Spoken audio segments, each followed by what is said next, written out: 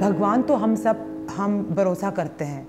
लेकिन जो वो आ, यात्रा है जाने को केदारनाथ आपको नहीं लगता है कि लोगों के हृदय में थोड़ा डर डर आ जाता है क्योंकि इतनी बड़ी दुर्घटना हुई है तो क्या लोग वापस जाएँगे? नहीं जाएगा।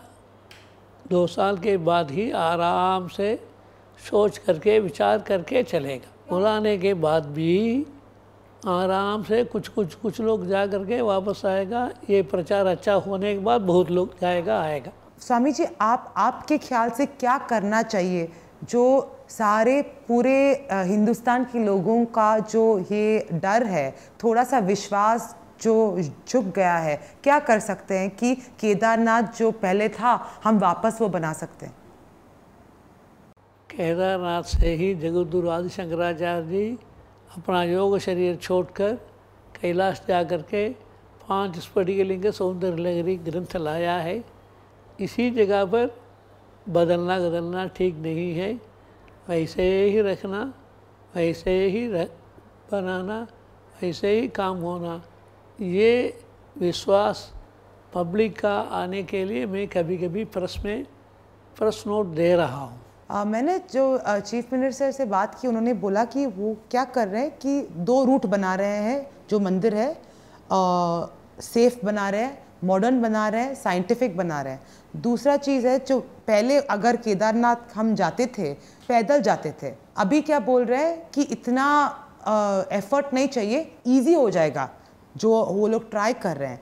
मेरा क्वेश्चन ये है आ, कि अगर हम देखा जाए, शबरीमलय है कि केदारनाथ है, सब जगह अगर भगवान को मिलना है तो बहुत ज़्यादा एफर्ट लेना पड़ता है। यही बोलते हैं यात्रा। बहुत कठिन रास्ता हमको लेना पड़ता है और फिर हम भगवान को मिलते हैं। अगर केदारनाथ जैसे चीफ मिनिस्टर बोल रहे हैं मॉडर्न कर रहे हैं इजी कर रहे हैं, क्योंकि सेफ़ होगा, ये आपके ख्याल से ठीक है? अच्छा है। तो आपके ख्याल से कठिनाई जो हम लोग करते हैं भगवान को देखने के लिए वो नहीं ज़रूरत है? अच्छा रास्ता बनाने से और अच्छा होगा। कर सकता है। कोई कोई कर सकता है। कितना प्रकार रास्ता होगा उतना प्रकार रास्ता में हेलीकॉप्टर जाना दूसरा जाना तीसरा जाना कोई कोई हो सकता है। लेकिन काफ़ी लोग जो वहाँ पे थे जो जिन्होंने जिन्होंने देखा ये सब पेपर में बोला है कि हम लोग कभी नहीं जाएँगे यात्रा पे। जो हो गया हो गया उसके लिए सोचना ठीक नहीं।